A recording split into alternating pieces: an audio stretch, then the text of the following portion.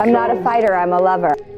I don't know, no, because if you're a lover, you got to be a fighter. How so? Because if you don't fight for your love, what kind of love do you have?